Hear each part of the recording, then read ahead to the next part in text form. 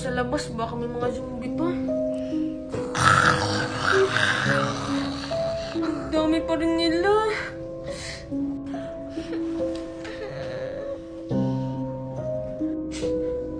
Oh, Angel.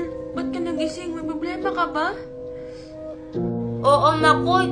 Eh, kasi naman, kanina pa ako nagugutom eh. Eh, Angel, bakit? Wala bang laman yung rip nyo? Wala pa, eh. Inubos ko kahapon kasi magpapadala naman na yun si Mama Dayan ko ng pera. Eh, hala, Angel. Paano natin yun kukunin? Ikakatingin ko lang sa labas. Ang daming zombie.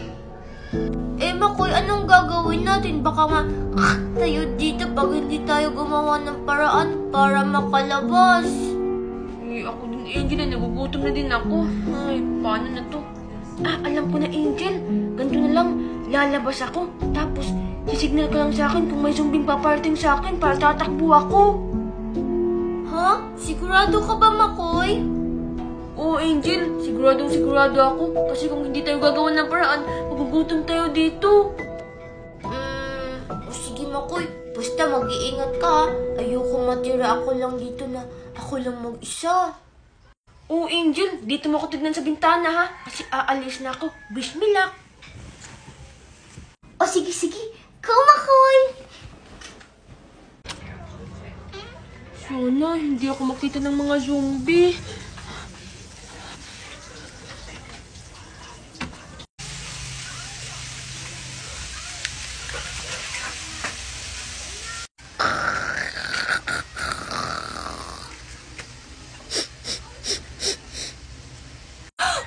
Makoy! Bumalik ka! Balik!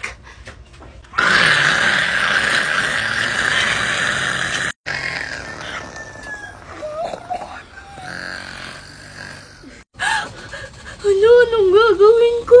Kailangan kunin yung atensyon nila kasi panigurado ako makakagat nila si Makoy tapos magiging zombie si Makoy. Alam ko na, may turatot ako dun sa kwarto. Yun yung kukunin ko. Hmm, Angel, anong gagawin ko? Ayoko maging zombie apocalypse. Nasaan na ba kasi yun? Buti na lang nakita kita agad.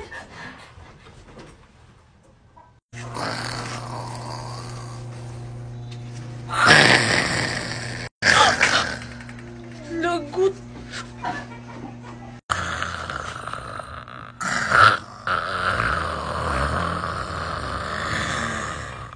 So, nandito pa si Makoy.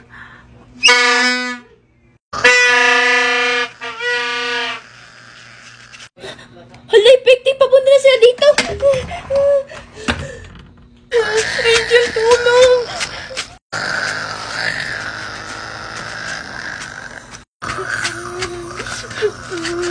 Anong gagawin ko? Inahabol ako ng isang zombie. Siguro magiging zombie na rin ako ngayon.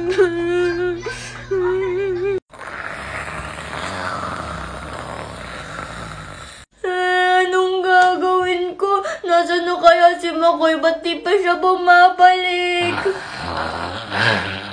Teka lang, galing ba yun dito sa loob?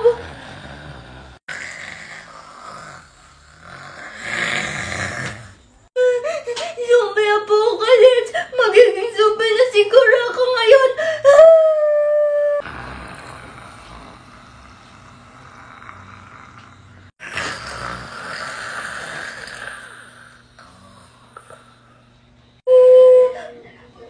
Te- Teka, ba't parang wala pang kagat?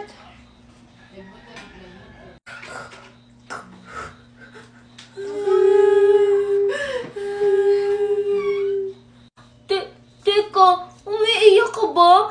May zombie bang umiiyak? Di ba yung mga zombie nangangagat?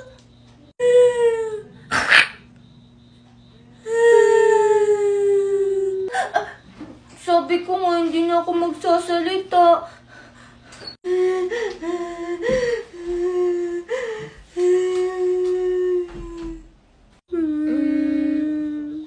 So, ibig sabihin ba nito, mabait ka na zombie apocalypse?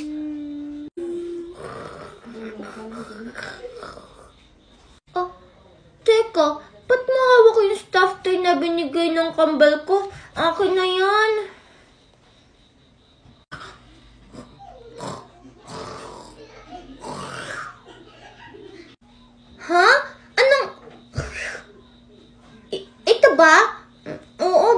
ang kambal ko.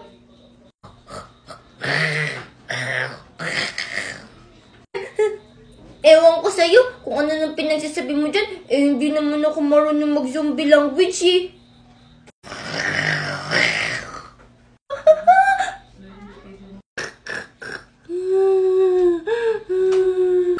Ano ba naman tong zombie na to?